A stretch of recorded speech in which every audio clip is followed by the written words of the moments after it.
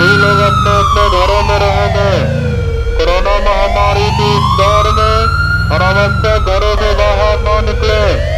सरकार के गाइडलाइंस को फॉलो करेंगे। घर पर रहें, सुरक्षित रहें। धन्यवाद। हेरे छोरा, हेरे। यहाँ आदमी कोरोना से मर रहे हैं तो बाहर घूम रहे हैं। मर बने से डंडा की यहीं घुलट देवी भाग यहाँ से।